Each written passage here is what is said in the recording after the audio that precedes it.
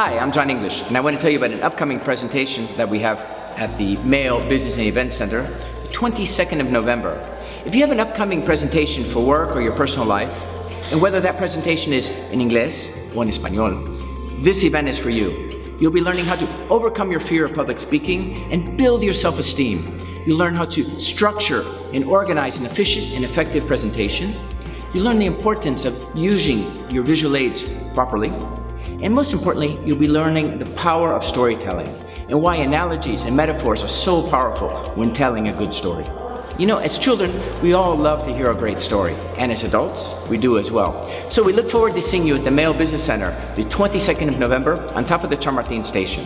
Thanks for listening, and we look forward to seeing you there.